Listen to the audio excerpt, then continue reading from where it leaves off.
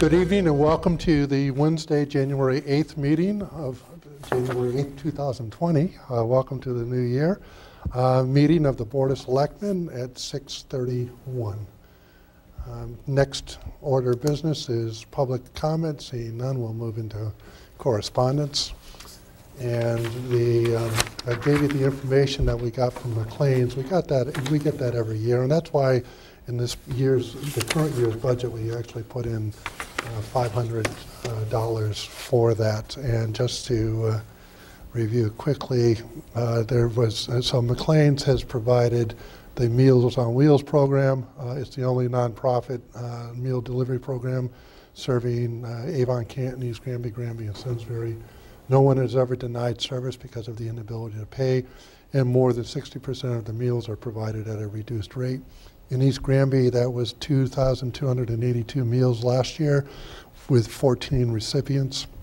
Uh, The, uh, there were uh, six that, uh, that paid uh, uh, a, actually eight paid a reduced rate and six paid the normal rate. Um, The, basically, you have 14 recipients. Mm, That's basically what it is. The, uh, when there's a meal, it actually includes one hot and one cold meal. Um, So it, it is actually more than 2,282 meals. So uh, we have that in the budget item as a $500 uh, item that we approved in last year's budget. So we'll send them the $500 based on this uh, letter. Jim, if people want to participate in this, is there any way they can find out how to do that? I mean, do they call this person Victoria, or maybe you can find out? Well, um, actually, what I would suggest is that they would call uh, our social services director, Elise Kosker, and then Elise will put them in touch with the right person. Just one question. East Granby shows 2,282, Granby 1,846. East Granby being so much smaller, is there a reason why it's used more, or is that, I don't, uh, I I can surmise, I don't, I don't have. a- what do you surmise? Uh, The, they have 16 recipients. Uh, We have 14. So uh, there was probably less getting, uh, there were probably less getting meals than us, you know. Or they started over the later course in of the year, time. maybe? Yeah, could be the later year, or, or there's just, uh, you know, you- you're right with a bigger town, why it's not, there's not the coverage there. Maybe there's a different program there too. They do have, um, you know, some uh, luncheons there on a consistent basis, and that might offset it. I think that's probably the answer. Okay. Uh, Got a CCM capital report. Uh, They uh, just highlighted the fact that uh, in the December special session, there was a hospital agreement uh, between the state of Connecticut and the Connecticut Hospital Association. Uh, They um, also, uh, the legislative committee was uh, uh, held, uh, the meeting was held by CCM in December. Key recommendations support the efforts of a, to implement a bipartisan plan to address identified transportation infrastructure needs, maintain funding for key municipal uh, infrastructure grants such as uh, Town Aid Road, LoCIP, and Lot SIP, and develop a pilot program to allow uh, municipalities to utilize photographic uh, traffic enforcement technology, which is an interesting concept. The uh, December tax collectors uh, report is here. The, um, the collection rate uh, last year at this time was 68.15%. The collection rate this year is 70.03, uh, or an increase of 1.88 uh, percent. It could be prepayments of people doing tax uh, planning, uh, plus also we were running ahead because we had the tax sale.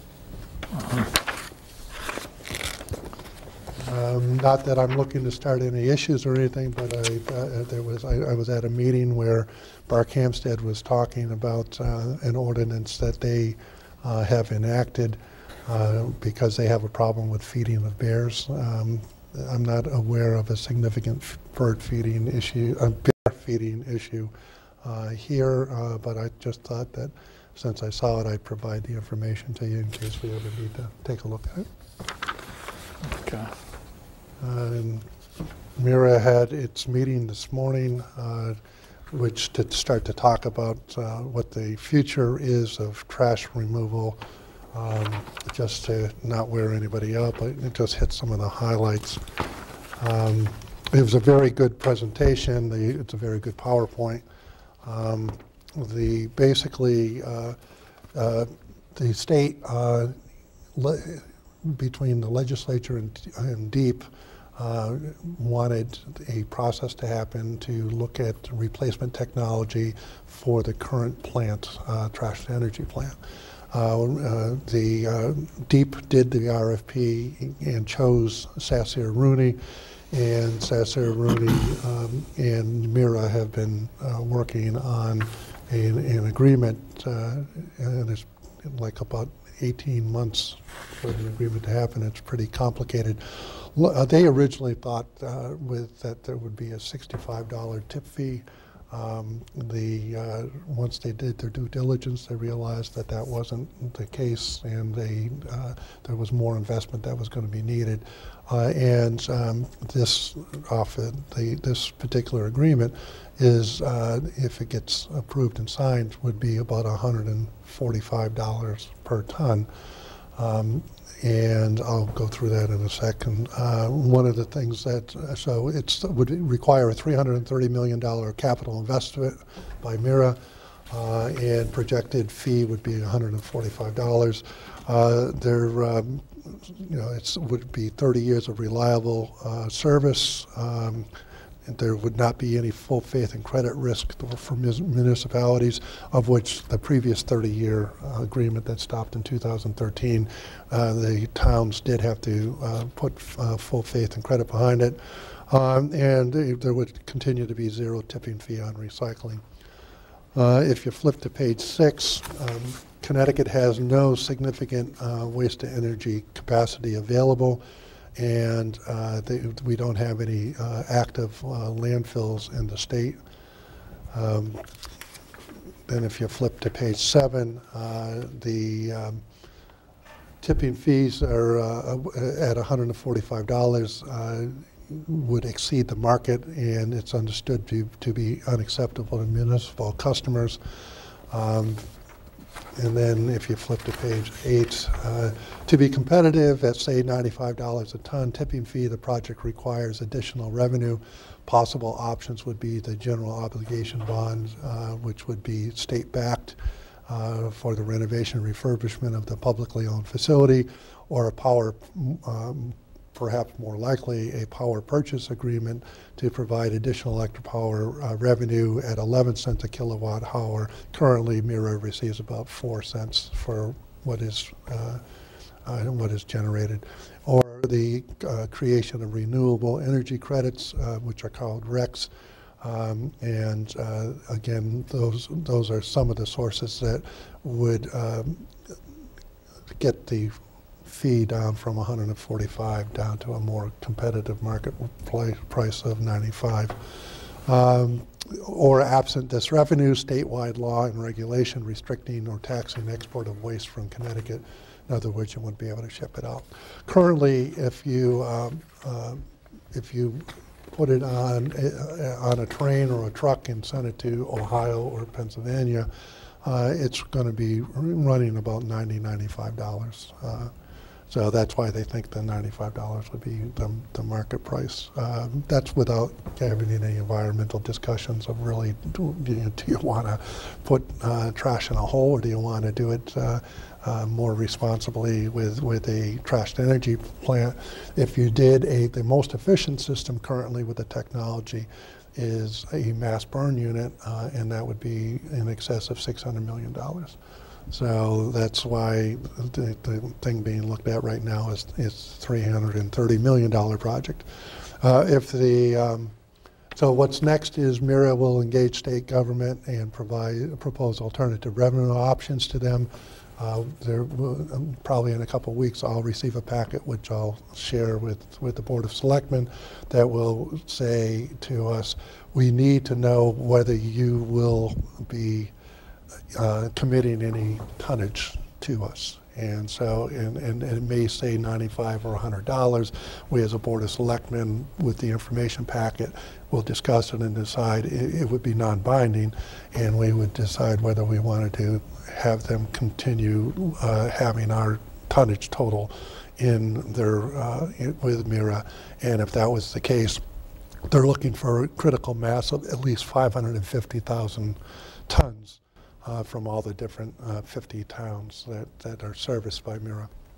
And uh, so uh, that would show if there's economic viability. If everybody says no, then the project doesn't go forward. Uh, If uh, everybody says, yeah, $95, $100 uh, that we'd be interested in, then the other thing is, okay, well, you, you're at 145. So to get it down to 95 or 100, it needs the help from the legislature. And, um, and those, you know, th those three or four items that, I- that I talked about. So regardless of what happens with that, we have a contract with them through 2027 where they need to provide uh, the service uh, to us. Uh, But it's, you know, what price that would be. So it, it- today's meeting was an informational meeting. It- The slides are really good. Uh, And uh, the- as a result of the informational meeting, two or three weeks, uh, we'll get some information packet that we'll discuss, and then we would have to make a commitment by probably May or June of whether we were going to go forward with a 30-year uh, contract with, with Mira. Uh, They would, you know, if they're saying 100, 95 or 100 dollars per ton, and then if it happens that uh, um, the state legislature doesn't give any, any um, accommodation to help with the funding, then it would still be at 145 and the deal would fall and be null and void. So it's, um, it's trash. It's going to be messy. Um, it- We know the prices are going to go up. Um, They're anticipating that it's probably, uh, the new uh, rate's going to be $91 in the upcoming year um, per ton. It's currently $83 per ton. So uh, a lot of good information. Um, There's not a great solution at this point. Uh, And uh, if this deal is to happen, uh, it would have to have some state participation um, to make it reasonable. At 95, it's close to the market rate. If it's at 145, it's out of market rate. And all two towns, including ourselves, I'm sure would be inclined to say no at $145. So, um, so that's where we're at at this point. From reading all, everything in this PowerPoint, it doesn't look like this is viable from even the very beginning. Because I don't think any project that's even quasi-public ever goes, you know, on budget. They're always over budget, so probably be a lot more than 145. And it includes monies from the state and all sorts of stuff, so. Well, no, the, the 145 doesn't include any money from the state. Well, they said they needed bonding to keep it at 145. Well, it, um, what page? The are you on? 330 The, uh, what page? capital, Which- Which page? page, el- well, li- slide 11, number six. I mean, from, from reading everything here, this doesn't look like it's going to work. It- at Well, all, it- it's not going to, it's not going to, well, it's not going to, it's not going to work at 145. Right. Uh, The. I um, mean, they're telling us that that, if everything goes as planned, it'll be 145, and they're going to try to get it down below that by forcing us to buy electricity at above market rates or taxing, well, Or general obligation bonds, that would be paid back with tax dollars. Right, Where- so- Which, which one were you on? Which, well, the one right there, 330 million capital. right, okay. So, So that's. I mean, I just don't see any of this working. I mean, Well, th- there's, but- a- there is an alternative right now to train it out of here, and that's between 85 and 95 dollars a ton in 2023 dollars, so that's probably going to be the best way to go. Well, it, um, yeah, we'll, we'll get more information and look at it, but I'm still struggling with where it's going to be more than 330 million. Well, didn't they say if they goes to single stream, it'll be 600 million? If that Or was the a, mass no, that burn. was a mass burn. Right. What, the, the mass burn project was looked at and is not one that's considered viable, Right. so it's the 330 million dollar. Right, and that's, you know, today's estimate, you know how projects always go, they always go Well, over. they're, I, they, they have some faith in the numbers. Mm, know, But I mean, Well, have a lot to talk about. And how are we on the hook until 2027? Are we required to send our trash to them till 2027, no matter what the cost is, or? No, no, we, Okay. we have the option to opt out, Okay, which is why they're working very hard to get it at a market rate.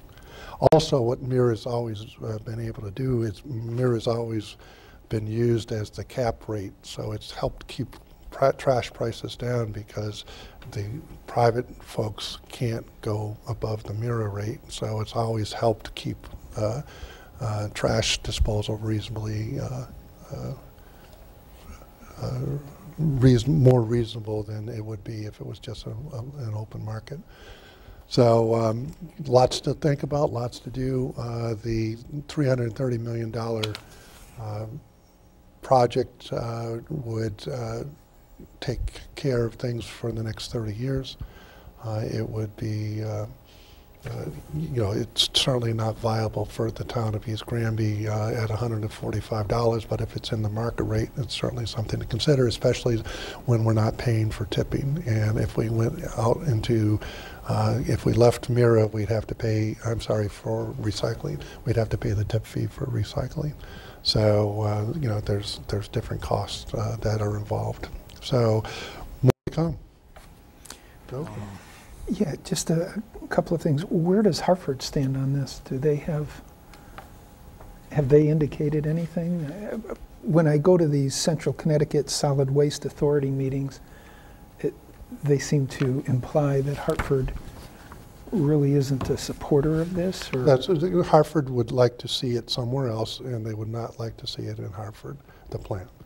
Um, The, uh, uh, they, they have uh, roughly 35,000 tons uh, that they uh, take care of every year. Uh, So they, you know, I mean, you know, they could decide not to participate in the project. If, um, if one of the reasons why the rebuilding of it, it, it makes a lot of sense is you can do that under the current permit. Uh, if you moved it somewhere else, uh, you'd have to go through the permitting process all over again. Uh, and that's, you know, a three to five year process sometimes. Uh, Hartford, um, in, in, you know, in their mind's eye, would like, you know, it's, it's near the river, uh, you know, they'd like to see some sort of development in that area that would be, you know, either commercial or residential or a mixed development. So the, uh, you know, and the, uh, the MDC, uh, you know, fac- uh, factory, MDC sewage disposal is there. I guess it is a factory. And, um, and, yeah, so if there was just the MDC there and there was uh, not the, the uh, uh, trash to energy plant there, there, there perhaps might be some, some opportunity for them, to do some development. So the mayor has been, the mayor is an ad hoc member of the committee. Uh, I'm a full member of the committee. Uh, and um, the, uh, the, the mayor has been, you know, very vocal in the fact that he'd like to see it somewhere else.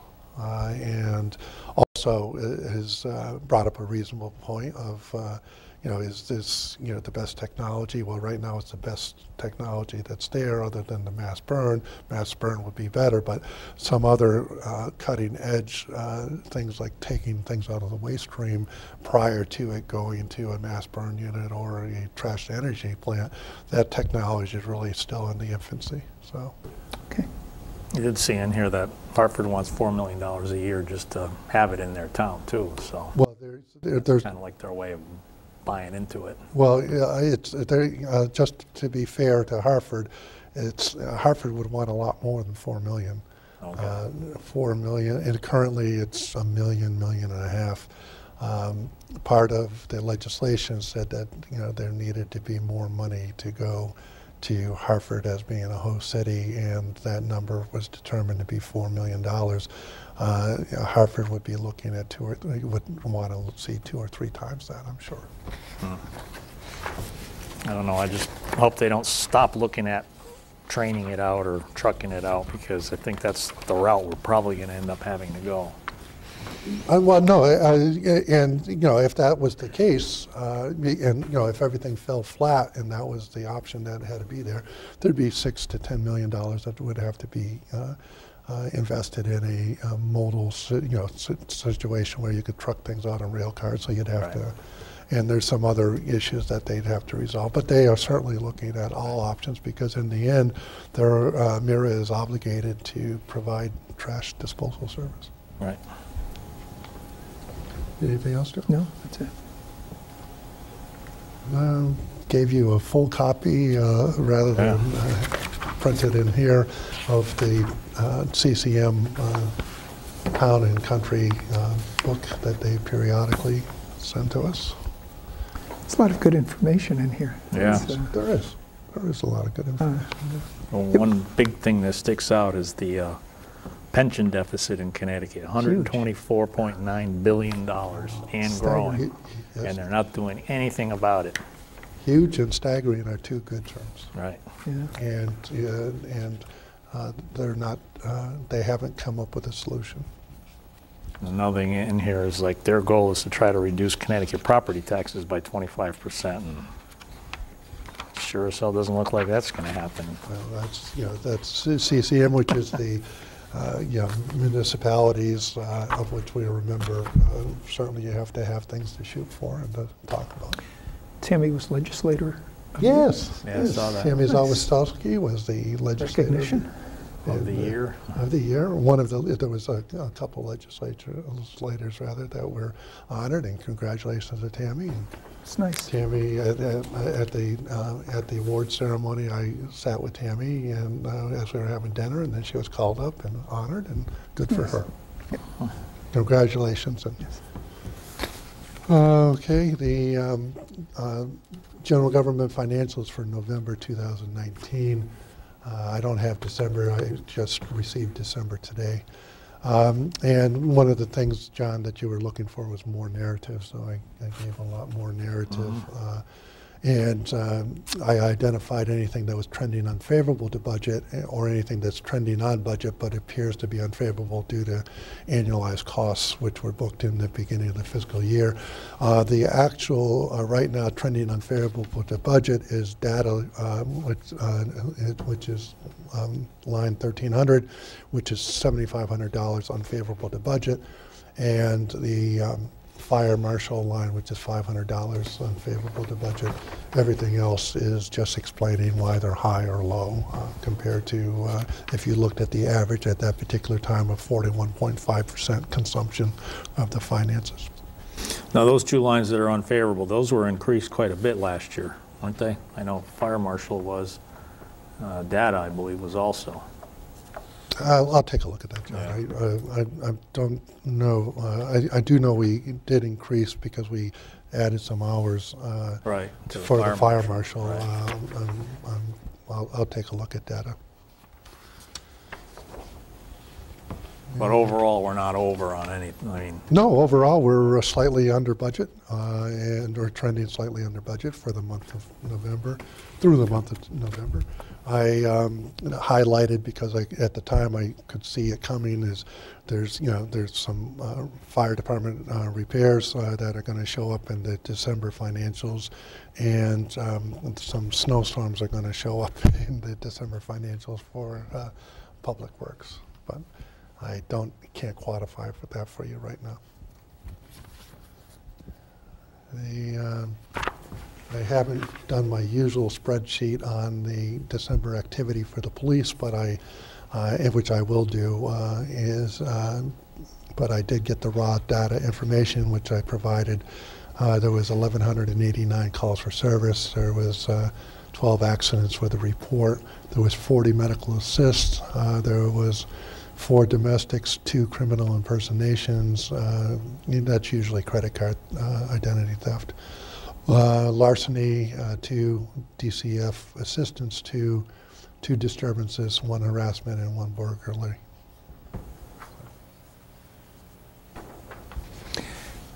Just uh, on a side, I've noticed from time to time Greg comments on Facebook, and he seems to do a really nice job with that, answering questions, putting something up that he feels is important. So Yes, he does. I, I don't know if that's a relatively new thing that he's doing or it had been done before, but it's really nice. That is a relatively new thing that he is doing. It's very nice. Um, Gave you uh, some uh, information from the network, uh, who uh, wrote a very nice thank you note to the town and the residents uh, for their participation in the Stuff a Cruiser event. Uh, And we got some really great notes uh, from uh, families, uh, thank you notes and everything that I I thought was uh, Yeah. of interest, and I included in the packet.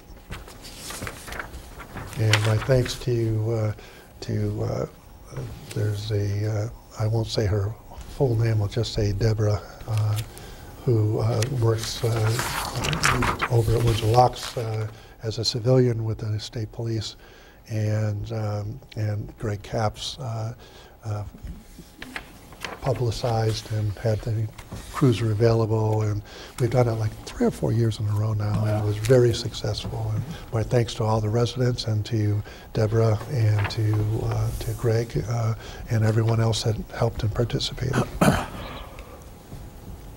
the um,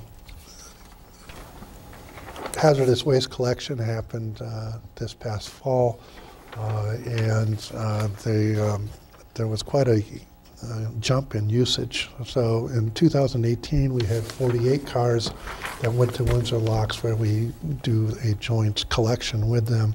Uh, this year was 107.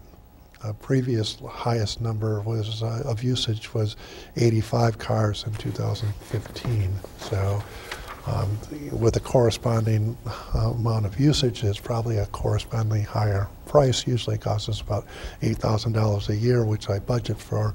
So we'll see how much it comes in, and I would think that it'll probably come over budget. Um, it's just some of the uh, household hazardous waste items that were collected.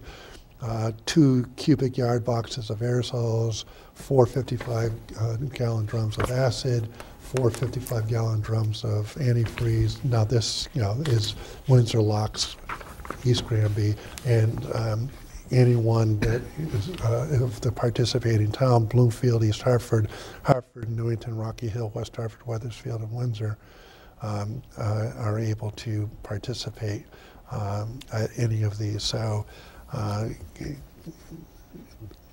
at this point, um, you know, that wasn't just Windsor Locks and East Granby that generated all this stuff, but it certainly uh, is uh, is a, a large amount of things. And like I said, it's it's, it's more items than uh, more cars that participated, which means more residents participated. Uh, there was 49 fire extinguisher cylinders. There was nine 55-gallon drums and seven cubic yard boxes of flammable liquids. I won't read everything. There was five 55-gallon drums of motor oil. So there was uh, plenty of things that were uh, 14 55-gallon drums of pesticide. So Now, how do they know uh, which town they come from? Do they look They, at uh, everybody's driver's license? they, Okay. uh, you- they card everybody. Okay. They card everybody. So it's not like we're going to be charged for non-residents? That's, the- uh, no, we're not. They'd have a system and a process in place. And also, we had uh, East Granby folks there. We had, uh, uh, I think it was two uh, uh, DPW guys w- were there. Uh, So um, it's got a good process, it's well controlled, and those are ours. But I thought the same thing when I saw Right, 107. right. I mean, there are some things that they collect that even our recycling center collects, like, you know, motor oil. Yeah. You don't have to wait for that. Our, our place is open for motor oil recycling, CFL bulbs, um, batteries, a lot of things that we can bring here, we can just bring to our recycling center. Absolutely. And we're not, you know, we, by the nature of the report, we really don't know how much of that was generated in East Granby. Right. And then I also, as an extra, included the uh, Metro Hartford Future Executive Summary. Uh, It's uh, towards accelerating shared and sustained growth, uh, economic growth. I just received that. Uh, It's some good information in there, um, and I've uh, passed it on to our Economic Development Commission. Okay. A lot of data in there. A lot of interesting data, too. It's the insurance capital of the world. We're still the number one state with insurance jobs per capita. Uh, They've got like 15 different things that they, they highlighted as part of trying to establish a brand. Uh, Hartford region cost of living is 21% less than Boston, 34% less than New York City, uh, but it's uh, higher than the average for the state of Connecticut, I believe. Um, within an eight-hour drive from Hartford, you'll find 20% of the U.S. gross uh, GDP, 60% of the Canadian GDP, and 106 million people and 42 million jobs. Uh, in uh, in the Metro Hartford area, there's about a million people. Yeah, there's a lot of interesting reading in here, it looks Yeah. like. Okay, the, uh, also the the other addition was from the Secretary of State, who um, um, did two paragraphs on G is really nice, that, uh, about how well the elections went in 2020 and uh, in 2019. Things were smooth, and by the way, in 2020, we want to continue that. Um, Since 2016, our state and nation have faced the threat of foreign interference. And then the third paragraph is the reason for the letter. Very reasons our elections are secure come with a definite cost. Over the coming weeks and months, you will likely be receiving funding requests from your registrars and town clerk for election-related spending. So um, I don't know exactly what that means or how much that would be, but when you get a letter saying, hey, the bill might be coming, I thought I'd share it with you, both of you. Hopefully, it's just the regular bills. Yes, Nothing yeah. new. Yeah. Uh, Next order of business is the minutes uh, for December 18th.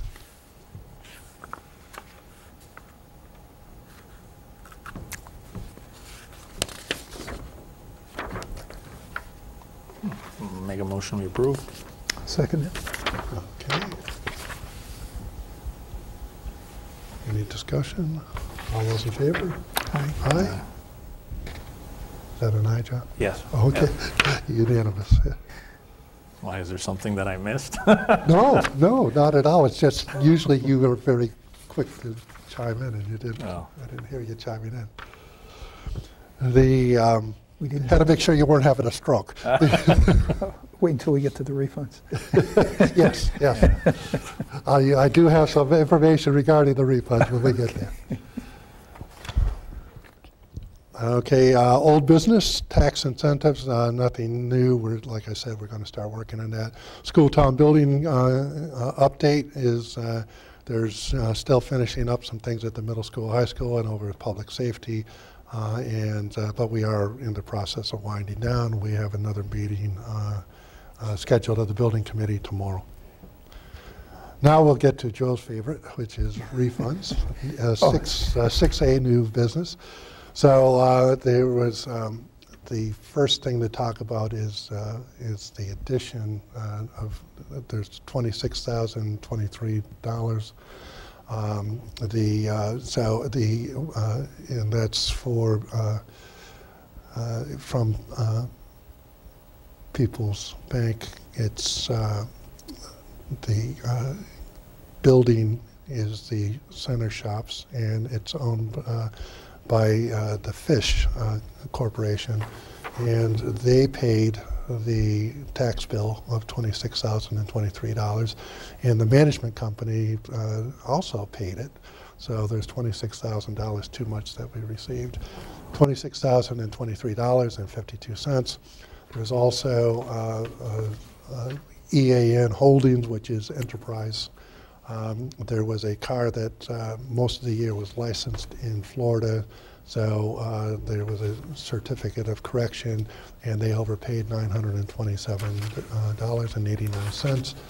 Uh, There was um, another uh, enterprise uh, was on uh, $381, $291.19.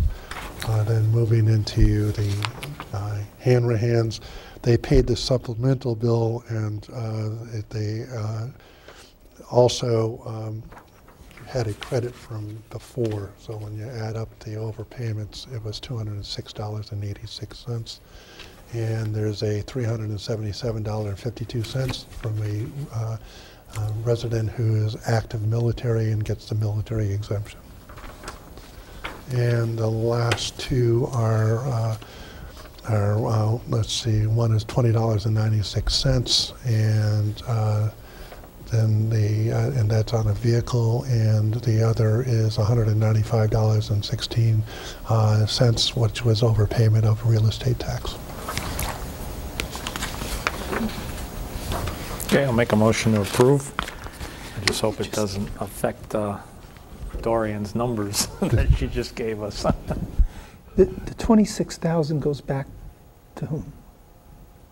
It goes back to the management slash mortgage company People's Bank. So it goes back to Peoples. Yes. Okay. All right. I'll second that motion. Any other discussion? No. All those in favor? Aye. Unanimous? I was hoping not to do that. I just dropped my microphone, so my apologies to uh, anyone if there's a loud, loud sound. Hopefully there wasn't. No, The sound's here, not in the, Uh, You're you're right, but, but there could have been some static or something. all right. Uh, The, um, just wanted to talk about the, uh, our our Board of Selectmen meeting dates. This year, the Board of Finance got creative in their activity calendar, and um, so some, of four of their meetings are going to be, uh, our Board of Selectmen meeting will be after their Board of Finance meeting. Uh, The uh, January, their, their meeting is January 21st, where they're going to discuss a lot of different things, but budget drivers, uh, uh, they're going to discuss. And uh, our meeting is 122, or- so it's the day after. So we could have a special meeting on, on uh, January 20th, but I don't know if that conflicts with the Board of Education or not, uh, where we would, uh, you know, just make sure that we discuss uh, what uh, we see as budget drivers going forward. That, um, or we could let it be. Um, The, and then in February, their meeting is February 11th, and ours is the 12th. Uh, Again, we could uh, be February 10th. If anything, I think the, you know, a short meeting on the budget drivers um, would probably be more beneficial and necessary than, than having a, you know, a, um, a meeting on the 10th, but we could certainly do that. And then um, the uh, April 7th, where they're going to provide directives to the Board of Selectmen and the Board of Ed for public hearing presentation. Our meeting is April 8th. And we're always ahead of them so that, you know, we have, uh, you know, finished our discussion of what we're making and presenting. Uh, So I, I think, again, that would be one that I would think that we'd want to have a special budget meeting on April 1st. Um, And then there's a, um, it's uh, June 10th uh, is our Board of Selectmen meeting, and June 9th is theirs. Um, We, you know, may want to, as we get closer, we may want to look at options. But, I mean, we can handle some of the stuff in May that we normally do, year-end transfers, uh, capital account closure. I mean, those are all things that, that, you know, are routine that we could do at our May meeting. All right, we can just do it on the last meeting of the month. Yeah, our, our May, meeting, Right. our last May meeting. I mean, the only thing I do see is for January 21st, if we're supposed to present budget drivers, I think it's got to come from the board, not just, Which is why I'm suggesting that we have a special meeting. all right, I guess we need to have a special meeting. So the, um, uh, you know, I mean, is there a conflict on the 20th, or do we want to look at a different I date than mean, previous week? there could be, but if we have it at 6:30, I think it should be fine. It shouldn't be that long, right? Correct, Correct. Or maybe even 6. Yeah, I mean, it's special, so we can pretty much. we can have it any time we want, Right. yeah. I mean, I'm not sure when the Board of Ed is, but it probably is that day. Actually, no, because it's on the 13th and I think the 27th, so the 20th should be okay. But if we have it earlier, that's fine with me. Joe, 6 o'clock, so we'll say 6 o'clock? Yeah.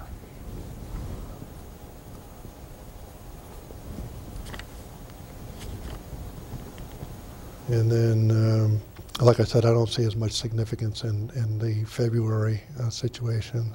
Uh, The, uh, and then, uh, you know, certainly we want to meet on April 1st. And we can do that normal time.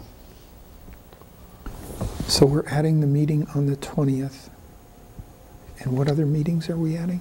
So we're going to have a meeting on the 20th, Yeah, so. uh, Plus our regular meeting on the 22nd. yeah. We could do that, uh, or we could have just a regular meeting. I'll just change the date. Yeah. Okay. And instead of cancel, having- the- cancel the 22nd. Right. Okay. All right. Okay, and then, um, then uh, the, uh, there would be a special budget meeting that we would want to do on April 1st, and we would just concentrate on the budget there, so we would have a f- April 8th meeting too. So we're having a meeting on April 1st. Yeah. And that's going to be at 6:30? Yes.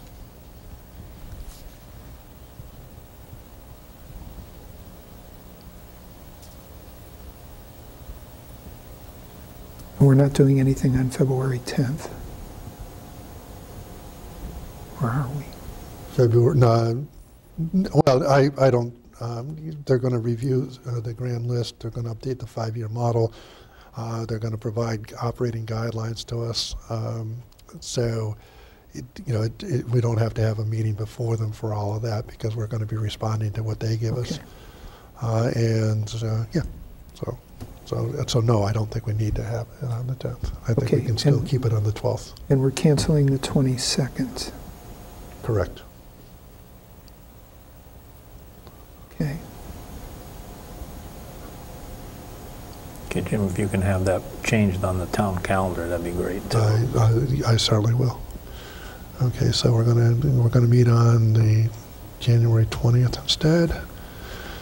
We're going to, on the April 1st, we're gonna meet April 1, and, and at this point, we'll meet April 8th. If we don't have to, we can cancel that. Okay, And I think that does it. Sounds good. The, uh, because they're gonna be special meetings, I don't think we need to take any vote or anything. I just wanted a consensus to make sure that, so, All right. okay. We just have to have the agenda as required so that we don't have any additions or, Correct. We just follow the letter of the Right. law on the agenda. Uh, And, uh, and then uh, we're uh, on the reappointments uh, for the town clerk, uh, the Christine Gallagher, um, treasurer uh, Kelly Jacobs, uh, assessor Mary Ellen Brown, and tax collector um, Dorian Owens. Um, The, um, uh, their appointment lasts a two-year period, uh, and uh, when we come new, they also get reappointed. Uh, All four are doing outstanding jobs. Uh, We're well blessed to have the folks that we have in, in this particular, those particular positions, and uh, we are well served. and they're all interested in continuing on, correct? Yes, they are. Okay. So I make a motion, we reappoint all four. Second that? All those in favor? Aye. Unanimous. Um, No public comment. We'll move into the executive session for a very short executive session, which um, um, we, no votes will be taken, and uh, uh, we will come back shortly. So we need a motion to to executive session at 7:15. I'll make that motion. Second? You're saying this is for personnel matter? Yes. Okay.